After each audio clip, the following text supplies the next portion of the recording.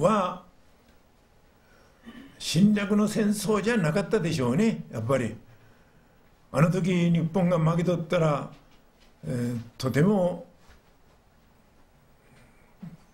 かみさんのまあ大事なご経輪中がどういう具合に変わったか分かりません。でしかしなんとか改心させてなんとか改心させて日本を本当のまあ深刻に近いそして、えこちらの方もご改心されて まあ、えー、お腕先にはっきり言うたら改心すれば伊勢の 神主で許すと書いちゃうそれほど厳しいんですなでそんなことはまあ戦前は言えんですよね。それは言うとったらそんなこと言ったら不敬だよ。でそれを秘めながら摂さんはなんとか最後のまあ改心を迫られたのが昭和9年の昭和新生活。です新生活を神の声によって素晴らしい新人の鬼三郎の言うことは本当にそうなんだと。いうことがだんだん分かってきて少しは聞かなきゃいかんなと。いうことになるんでしょうけど全然聞くところやない。それによって弾圧したんですね。だからこれはもうやむをなく最悪のコースになっちゃったわけですね。でしかし神さんは最悪ということはない。悪い面も今度はよく変えていかれると。でそこに神の経輪のいかに微妙であるかということ。でこういった点をですね戦後はもっとはっきり言うてもよかったんじゃ遠慮せんと。ところが遠慮ばっかりするんですよ。で結局第三次というのを、ま、私自身が中心になってこう掘り出されて私一人やので同等までも絶やすというのはこれはもってのほかなんですね。でその原因というものを冷静にまあその現世にいろいろ現れた会議いろんな行動そういう面を見ます時に結局切り替えができなかったということ。頭の切り替えが。で今こそですね本当に大元の原点にもっと帰ったらいいと。遠慮せんと帰ったらいいと。世間がどんどん言うてきだした これは偉いことですよ。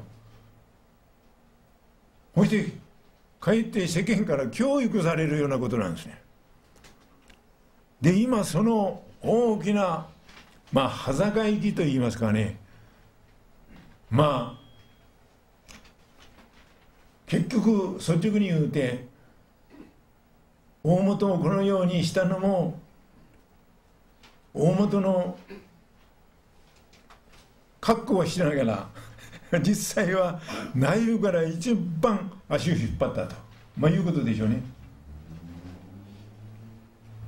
これが恐ろしいんです。で皆さん方もそうじゃない。でよく聖様が大元の信者豊かってな霊形的に二通りあるんじゃと。これをようなお前見とけ言うておっしゃっとった。こんなことを聖様の。ご健在の時言いよったら余計なこと言えないで叱られるでしょうけどまあ私も良い年になってそう遠慮する必要ないなと。私も体験したことがそう間違ってなかったなと。まあしみじみ思うで言いたいことは大事なことは言わなきゃいかんと思うんですね。つまり告訴がご苦労されて長い間三島大島あるいは上島にご苦労されたとその時正しく国葬にお仕いし羊さんの本人様にお仕いしとった神々も一緒にご苦労されたわけですね。そして時を時節で25年に再びご出現されるとともに喜びさんでこのご神行に参加させていただく目玉たち皆さん方ですよ。しかしそうじゃない。まあ大事祭典とかバンコあたりに使えた系統も大座席によれば今度はもう再び地獄の釜も蓋はあかんのやと。今度閉じてしまってしまうんやと。でそのことは知ってますよ。だから何とかして格好だけでも大元の信者さんになって、まあ、お詫びさせていただかなきゃいかんっていうわけです。だけど昔なそういう本人さんを押し込めたような悪いことをした霊系というのはそう簡単じゃないわい。言うてあの節さんはおっしゃってました、まあ、そういうやっぱり今日大きく縦分け立て直しがこうなされつつあるわけですね。だから皆さん方は本当にもう喜び勇んでこれからますますお互いの使命というものをより一層深めていかなきゃいかんと思うんですね。で特にこの魅力の世を地上に建設させていただくというもう勝手ない大制御というのが着々とやっぱり進みつつある。とともに悪魔の方はですねこれをなんとか阻止しなきゃいかんというわけでも必死ですよ。最近はもうとにかくそうでしょう。もう毎日もうおろおろっていうのもびっくりするようなことばっかりですね。もちろん、まあ、大手先にもちゃんとこんなこと来ることが分かってるもんでもう警察あたりもう信用ならんと。うんいうようなこともちゃんと25年から書いておられますね。ところが警察のところへない。45日前には検事さんまで悪いことをしよるんじゃからこれ承知なしやがねまあその大吉さんあたりはね金落ちたねそれはやるかもしれんけどもうこれはもう大変ですよ。でしかしそういう混沌とした暗がりの世にあっても我々は良いことをどうするかということ。で幸いにですね先般の、まあ、選挙でも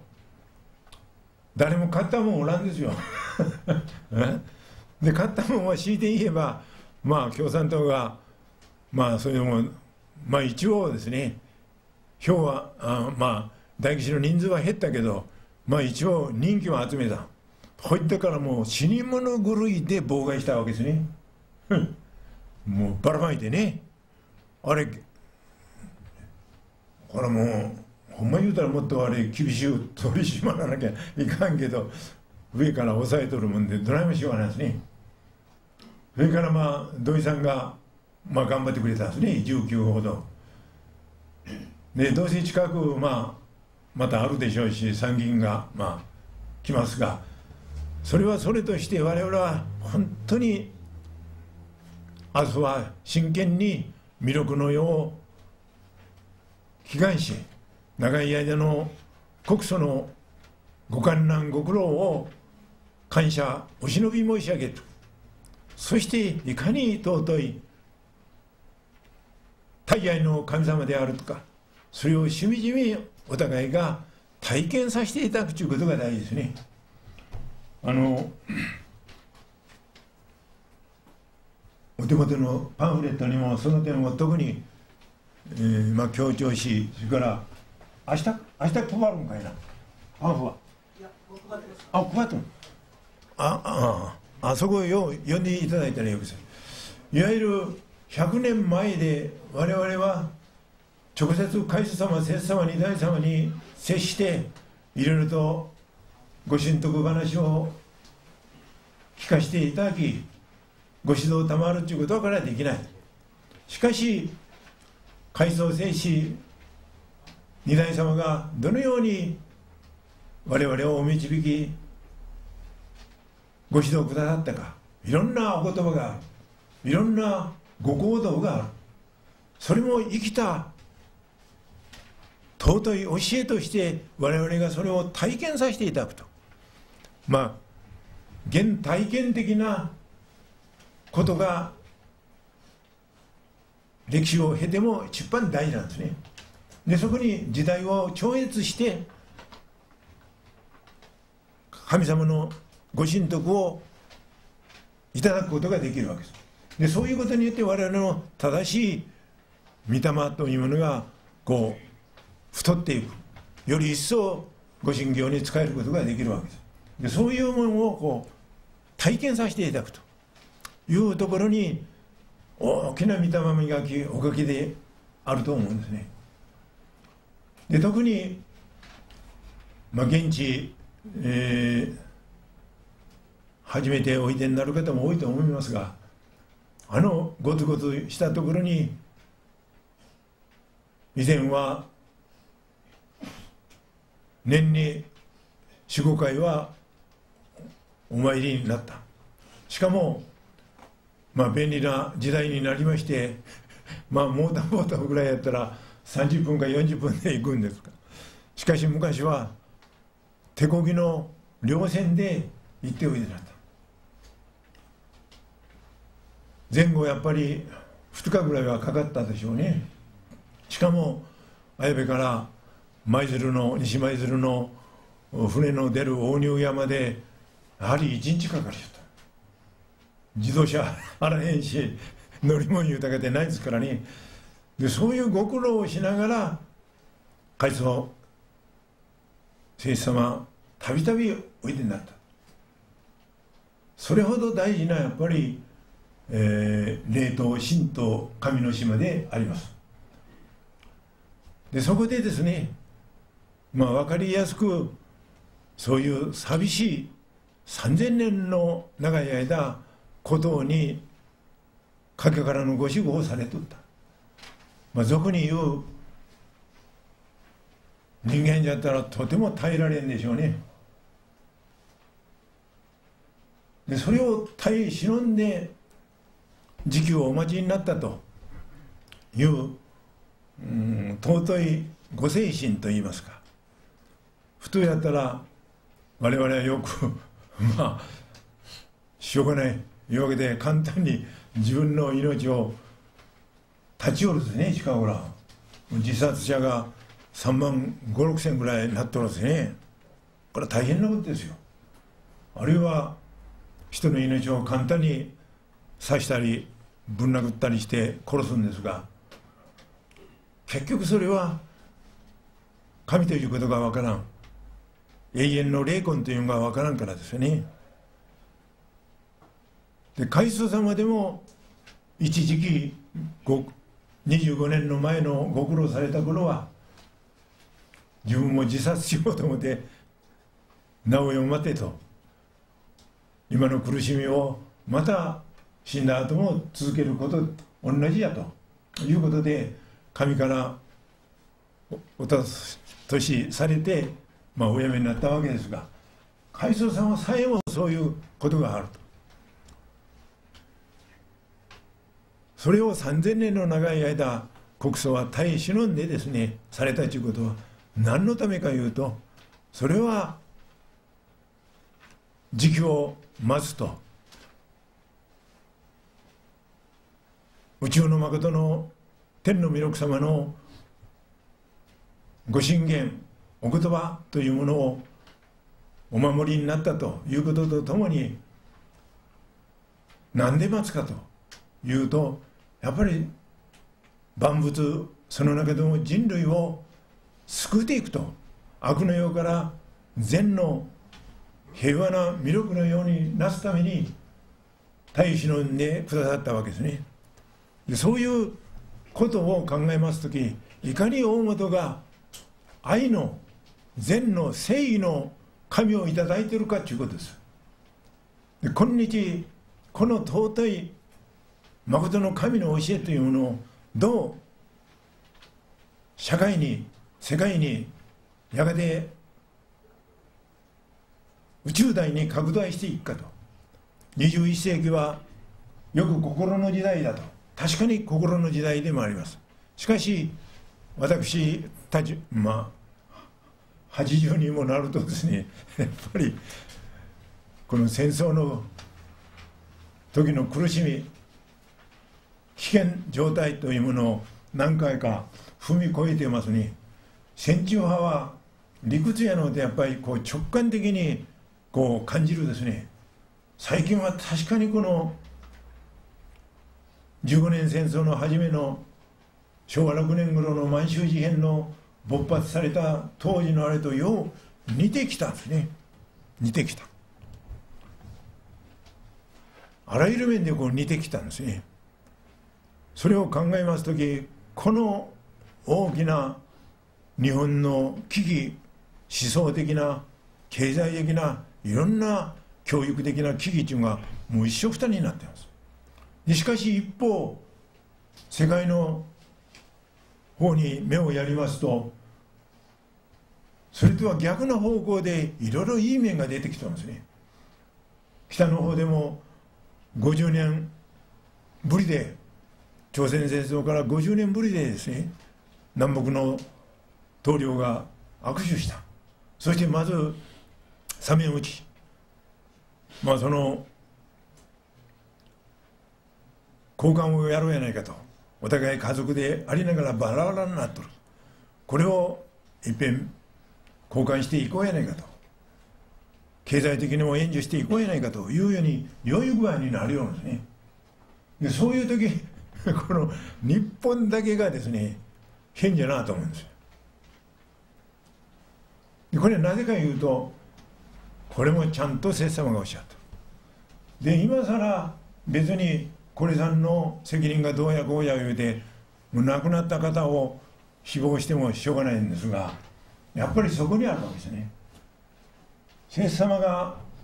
大元の行方日本の行くべき道人類が行かなきゃならん道というものをはっきりお示しになったのがもう何べも何べも言うて皆さん方も耳にはタコができてると思うんですがこれ吉岡発言ですよ。これはもうとにかくもっと人類に早く知らしめなきゃいかんのです。でこちらはまあ本部と執行部と比べると まあ予算から言っても、うんまあ、10分の1やな残念ながら。しかしその中でもこの世界選挙には負けんようにやろうやないかというわけでねインターネットでどんどんそういう大元の平和の思想聖様の吉岡発言あたりをどんどんやってます。国内でもまあやっておりますがね。全くその通りになってきた。その一番最初におっしゃったのがそこには書いてないですからね。しかし何遍も見るとようわかる。やっぱり聖様はよく、まあ、ここにはあんまりはっきり書かなかった。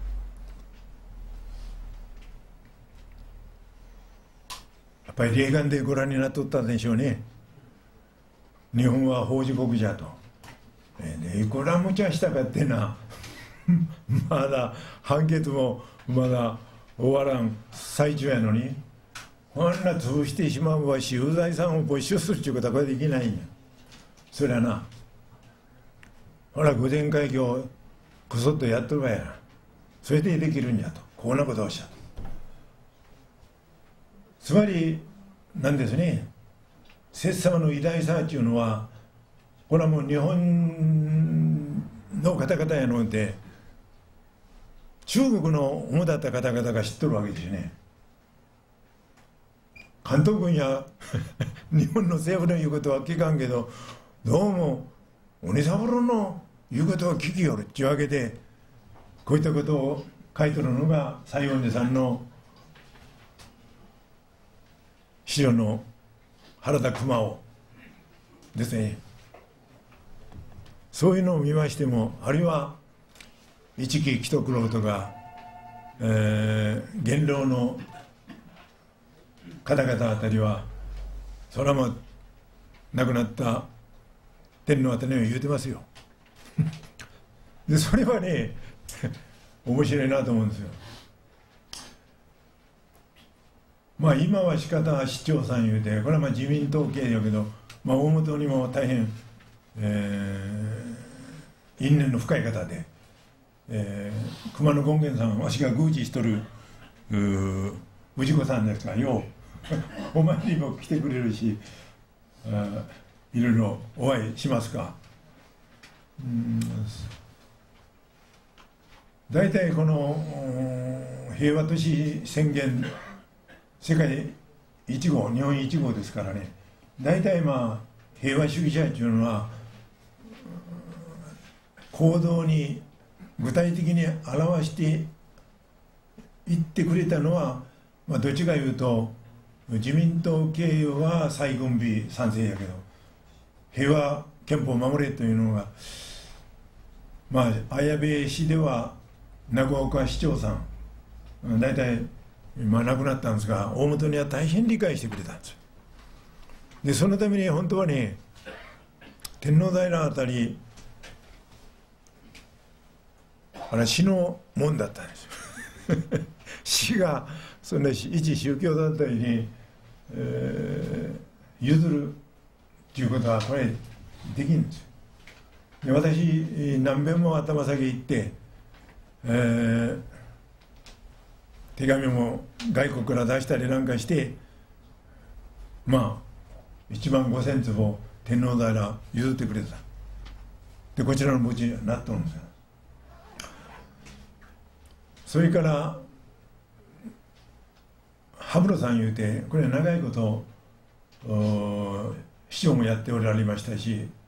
京都の深井議長もやって当時の蜷川さんちゅうこれこれはまあ京都大学の経済学部の先生やったけど、えー、知事に押されてそして蜷川がやったのはこれは他の六大都市と比べて全部京都をまあ後回しした。かえって軍軍部の道路をつけたり、えー、日教村あたりを組合を強化しただけじゃ ちゃなことボロクソ言うておりましたが。しかしまあ綾部氏にとってはやっぱり良かったんですね。でその蜷川さんが、えー、知事しとった頃も亡くなった昭和天皇が、えー、こちら地方山陰地方をお通りになったんですね。でその時、まあ、3遍お通りになって綾部にも一般にもなんかご挨拶みたいなのをされたことあるんですが、えー、蜷川さんが知事ですから案内役として同じ汽車に乗っとくと。そうすると昭和天皇は、まあ、綾部ということをやっぱり思い出されたんでしょうかね。まあ一応住んで京都にお帰りになると。で綾部駅をまあ通過して間もない頃綾部は大本京ってどこにあるかね言うて天皇が聞いたっちゅう そうすると蜷川さんは「ああの大本京でございますか。大本京はこっちでございます言うてあの三方平の方を示して こっちでございます言うて、まあ、そのうち記者通ってしまってあ下だと思ったんですでそのことをまあ長岡さんにですね、えー、にもあの言うておりました。出口さんやっぱり昭和天皇は綾部駅離れる時大本京はどこにあるか言うて聞きよった。蜷川さんは反対の方。に 通り過ぎてから感じたらしい。っていうことを、まあ、笑い話に言うてました。あなるほどそうかなと。摂様がやっぱり天皇は超元を通すことを超御前会議みたいなことでねあるいは御前会議とまで広げなくてもまあそういう元老会議みたいなことに出てこういうけしからんあれがあるとぐらいは、まあ、言うたんでしょうね。でそういうことを考えますとにねやっぱり厳しいなと思うんですね。というて今そんなこと言うたかって全てを大概の神様ですから表の神は別に恨んでもおられませんがそういうことを考えます時にいかに大本が立派な経輪の宗教であるかということ。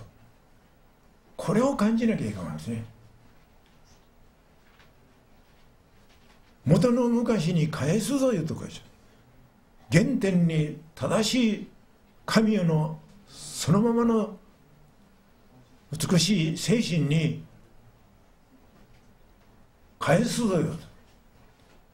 でそれをただ言葉だけ昔の人は言うとかあそうか。この間電気なんかつけたらあかんじゃないか。というわけでですねあのまあ昔の綾部の古い人の話なんか聞くと町のですよ。大本さんが一番そういう面ではこの電気のつけるのが遅かったでしょ他のところは電気来とったかって大本さんが一番遅かったでしょねでなぜか言うと腕だけ見るとえ？元の昔に帰る。元あんな電気なんかあらへんねんか。こんな電気いらんな、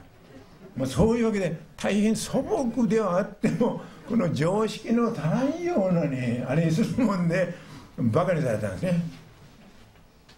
腕だけに道は真ん中を行かなきゃいかんとこの綾部の狭い道真ん中行きよったらあんな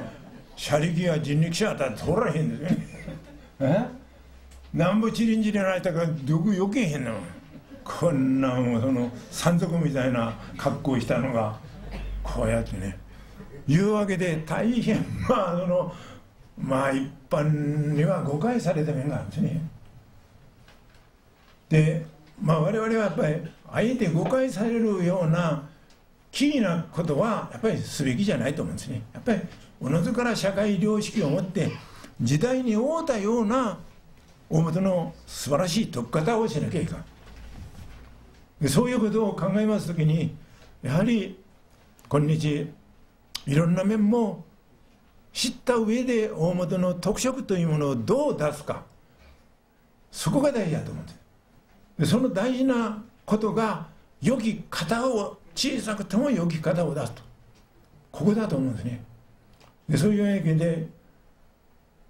明日は大事な大事な100年にいっぺんしか来なかったお祭りですよ。しっかりこれもおかげをいただきてはあよかったなという良い思い出を永久に残し伝えていきたいと念願しております。えー、そんなことで、えー、もうあんまり時間過ぎましたがあとはまあこれ読んどっていただいたらいいです明日でもお帰りになってから。えそれはそうとちょっとせっかくの地方からのお祭りでおいでになったわけですから昨今のいろんな様子をお伝えしより一層皆さん方のご協力をいただきたいと思います。で一つは、えー、まだこれ「はよ書いてくれや書いてくれや」言うとるけど、まあ、大工さんも忙しいもんで、えー、書いてないんですがね、えー、まあ熊野権現さんが、えーまあ、大事な新しい年を迎えましてね世界一大事な、えー、そう産砂様でございます。一番最初に牛虎権現様のお出ましを全国の神々にお伝えになった。そのご功績は国祖の狼もお認めになったんですね。そして海祖様と清吉さんが土山に富士をまあ取ってきてそして境内地に植えさせていただいた。そしてお札先にもありますようにこの富士が栄えば綾部都といたすよと、まあ、いうのお筆先も出てます。その筆先がまあ最近うん。綾部名木百選のうちに、まあ、入っております。でそれくらいまあありがたいんですが、えー